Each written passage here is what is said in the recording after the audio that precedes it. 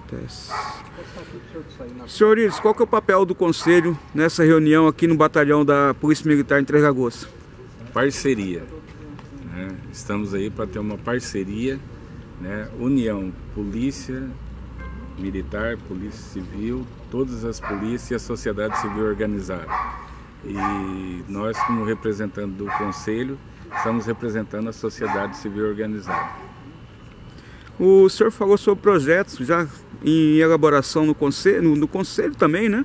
No instituto que o senhor representa, também no, no Sindicato dos Trabalhadores no Comércio, voltados para a educação. Surgiu algum novo projeto aqui hoje na reunião ou é algo ainda preliminar? Já tá, está surgindo, né? Um novo projeto aí que iremos fazer parte.